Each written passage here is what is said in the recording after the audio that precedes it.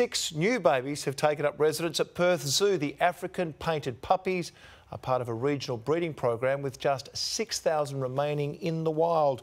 Born a month ago, the siblings have just started popping out of their den. The species is considered the most endangered large carnivore in Africa.